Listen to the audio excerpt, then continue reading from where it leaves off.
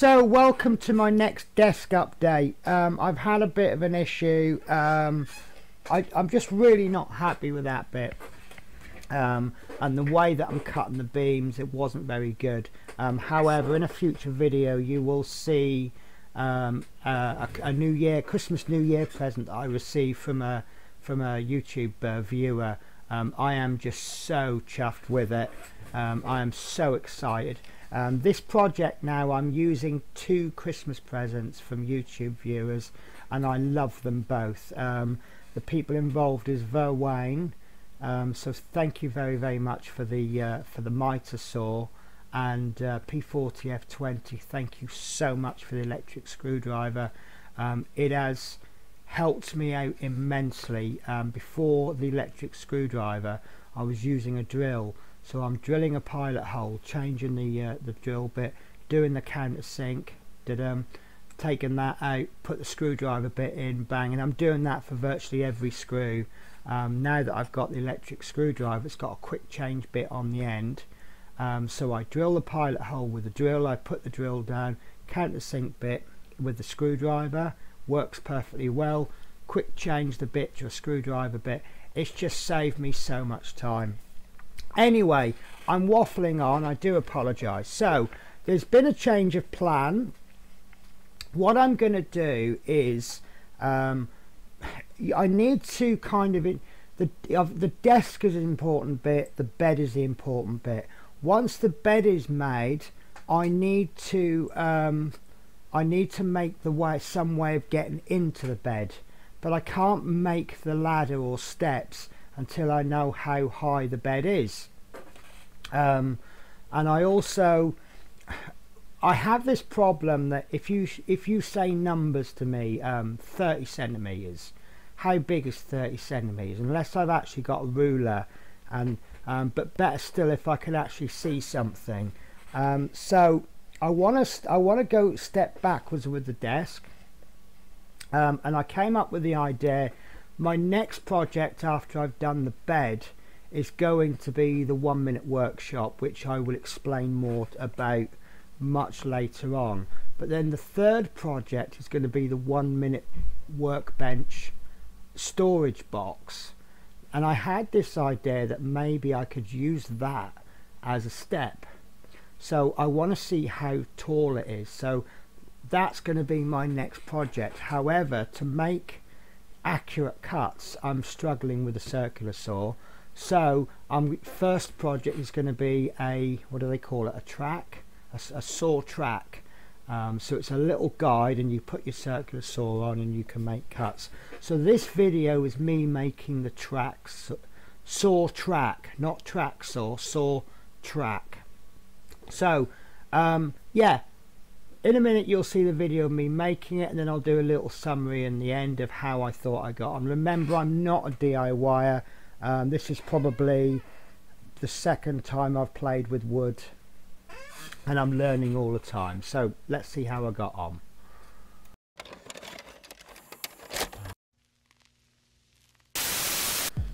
Okay, so what you're seeing here is a real Laurel and Hardy film, and I do uh, I do apologise for that. I'm I'm not an expert DIYer.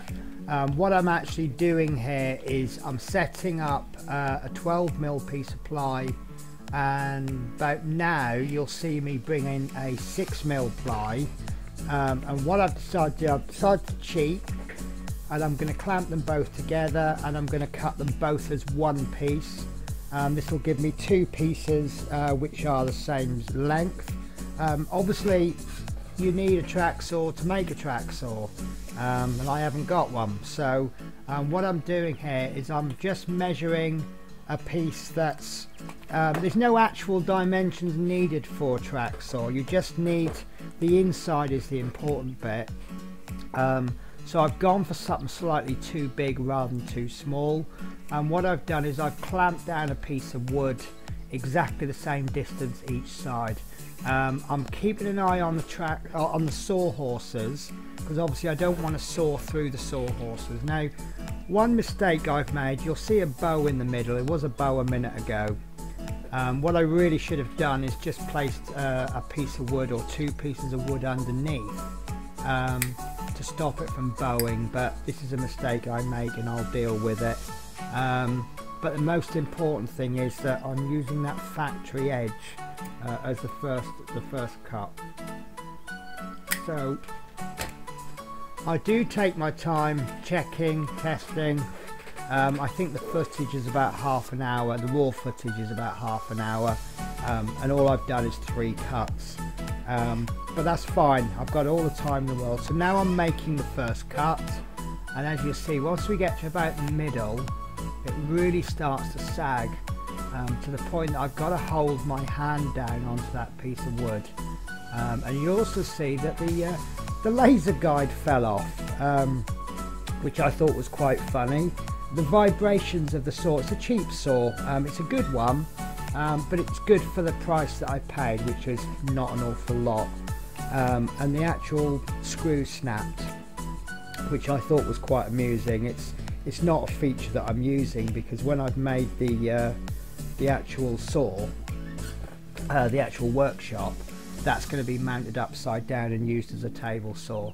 Um, so I've done my first two cuts. So um, what I'm now working out is how much gap in the middle I need for the actual track saw.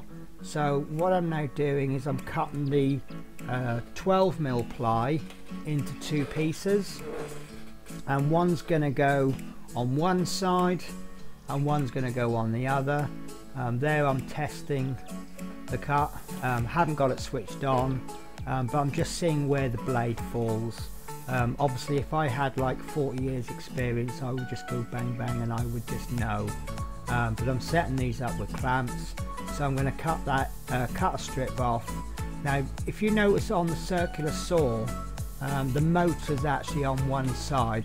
Oh this is the point where the neighbour came down and um, I did promise her I'd cut the footage out um, but her head's not in it so I don't need to, to uh, to cut it out but yeah she's gone now but she was obviously you get a neighbour come down she wants to know what I'm up to. She was interested she said if I need anything. Um, so there's the cut going in now. So that's going to be the piece that goes on the left hand side which needs to be a little bit longer to, to cope with the motor. And then I'm going to cut this next strip down um, smaller and that will be the right hand side and then I think I'll be calling it a day um, but I do need to just cut that little strip down a little bit more um, to make the end stops. Um, but once I've done this I realise I've got no screws. Um, so I actually go down to the shop afterwards and I bought some 25 mil screws. So what you'll see me do is screw these pieces in and then the screws will be too long so I'll just cut them down with a Dremel um, but I'll just leave you with uh, with me cutting uh, this last piece off. And I noticed that as the pieces get smaller the cuts get much easier. Um, so yeah there we go now. Dust flying everywhere. Um, so there you go. So that's actually a little bit too long I think. Too big um, so the piece that I intended to use I'm actually going to be using the offcut. Um, so you see me measuring it up. So that's it then. So I'll let you I'll just finish up the footage uh, and I'll see you in the next clip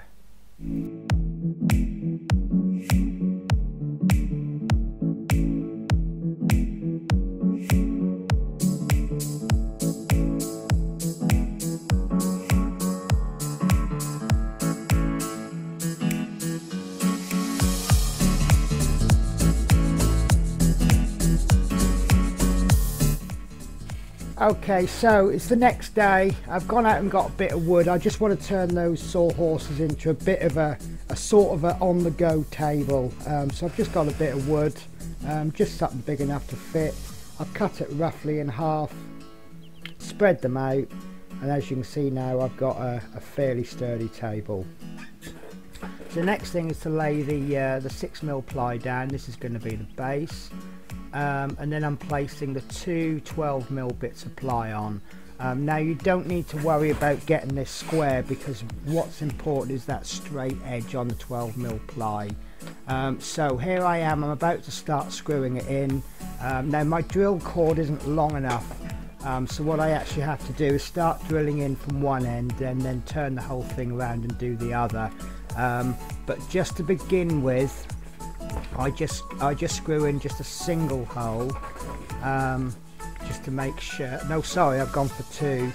Um, so I screw all of this whole thing in, and uh, and then uh, yeah, I just get it all screwed in. Now, word of warning, you'll see later on.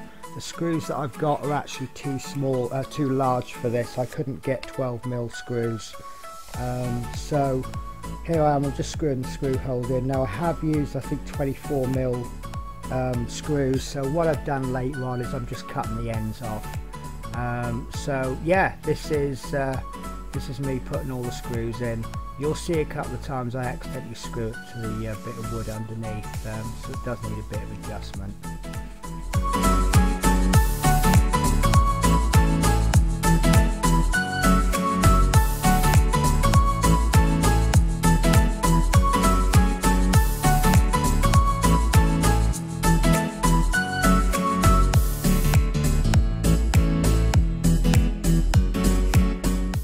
Now, unfortunately, um, I lost some footage on the uh, on the end of this clip, um, so I've got to kind of explain what I've done. Um, so once I've got that first side in, I've then just screwed the other side in just with a single screw on each end.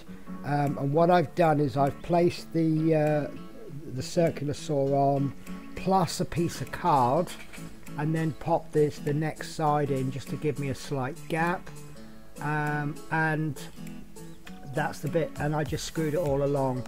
Um, I then took off a couple of bits of offcut stuck them on the end to make a, a stop block and because I lost the footage what I'm doing is I'm sort of trying to walk past um, the camera here to show you what I've done.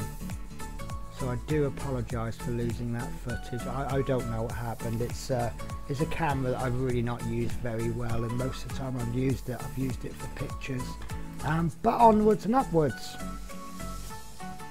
So this pit bit, I've now turned it over and um, all I'm doing is I'm just uh, taking the, the, the, ends of the screws off with a Dremel.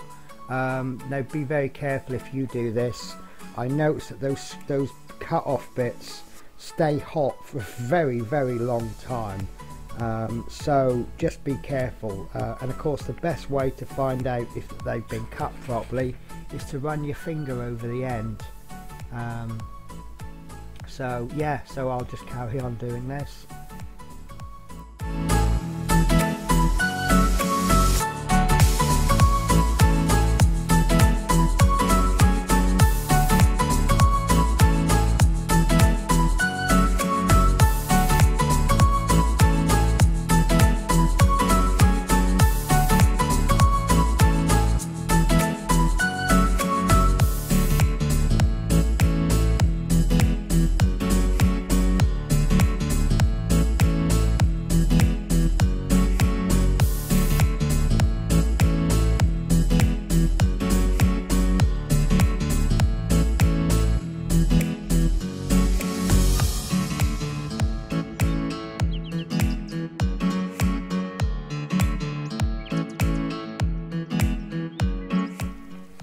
Okay, so what I'm doing now is I'm setting the blade depth for an absolute tiny amount. We want to run this saw along and we just want to slightly score the top. This is just going to give us a marker line um, and in a minute I should hold up. There we go. So we've got a very faint line. Um, and then what we want to do is, um, I'm calling them peepholes. We need to drill, I think I drilled five peepholes um, so what you'll do is you'll place this track saw on the line that you've drawn, but every now and again you'll have larger holes. Oops, there my hat fell off. Um, so you'll you'll see these little peepholes. It'll just make it a little bit easier just to see the um, uh, the lines underneath. Um, and, and, the way I've done this, um, I've got I think it's called a spade bit. And what you do is you drill just a little bit on the top uh, and then you turn it over and you, you, complete it from underneath and that reduces tear out. Um, now my drilling skills are obviously very very poor because I did get quite a lot of uh, tear out um, but it's it's not really a problem. It doesn't look professionally and fantastic done um, but it's still extremely functional um, so once that's done you then run the, the uh, circular saw through and then that gives you uh, the proper cut and in a moment what I'll do is I'll try and walk the, uh, the circular saw past the camera and then that's job done. So in my next video you'll see that get used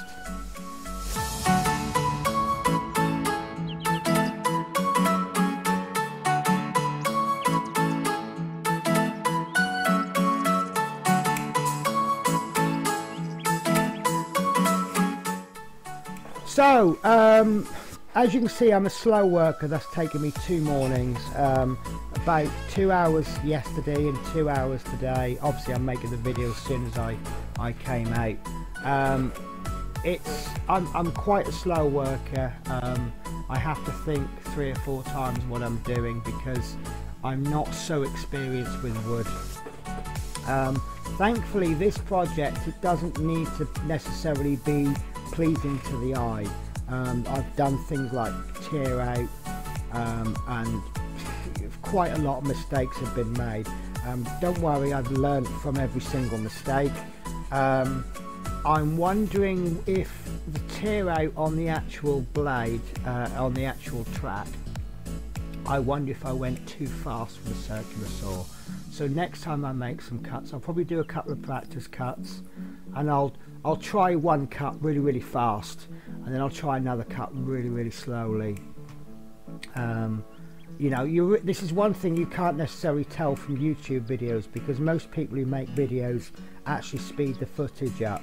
So you'll see them pushing something through like this. So how fast is it? Is it normal speed? Is that the actual speed you put it through? Maybe it's 10 times and I should be putting it through like that. I don't know. This is all stuff that I need to uh, pick up on experience with. However, I've got, I now have a saw track. Um, it just needs a little bit of tidying up, um, but I'm not going to worry about that until um, until I've got a table saw. It's just the edges are a little bit off um, like the actual outside edges. That's not important. It's a track in the middle with a little hole down the middle. So yeah I'm really really pleased with this project. Um, it could have gone better obviously but it it could have gone a lot lot worse.